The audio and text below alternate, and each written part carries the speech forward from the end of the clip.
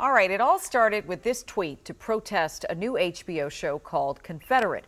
A Maryland man stated his state's flag is half Confederate, which ended up being retweeted thousands of times.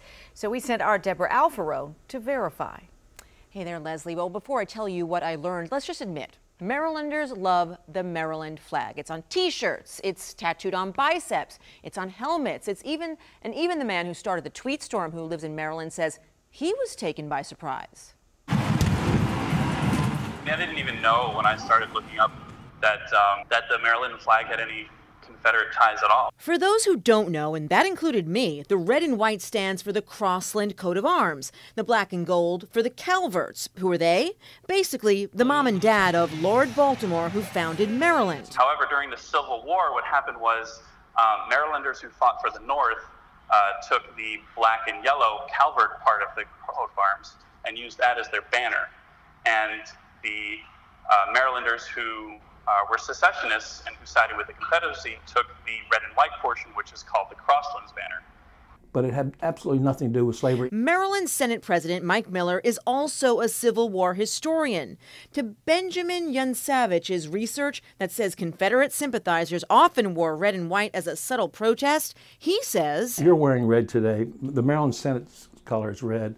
Our, our, uh, our University of Maryland football team is red, white, black, and gold. People can take symbolism any way they want, but honestly and truly, our Maryland flag has nothing to do with uh, slavery. The entire Maryland flag has a lot to do with slavery.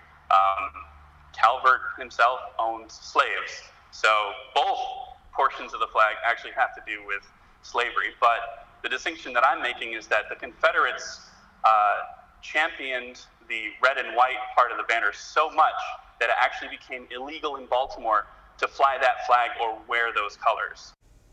And we've been working on this story up to the minute. And I'm looking right now at the state website. That information is actually true. And I'm just going to read a little bit here. Uh, following Lincoln's election in 1861, red and white uh, secession colors appeared on everything from yarn stockings uh, to children's clothing. And people displaying these red and white symbols of resistance were vigorously uh, prosecuted by federal authorities. There's just so much, so many layers to this story, Leslie. Very complicated. It so, is. but but what I'm hearing you say is there is a reference to the Confederacy in those red and white colors Yeah. that appear in the Maryland state flag. And you can find it right on the website as well. All right, we know there will be continued talk, debate Oh, yes. about this. Absolutely. All right, Deb.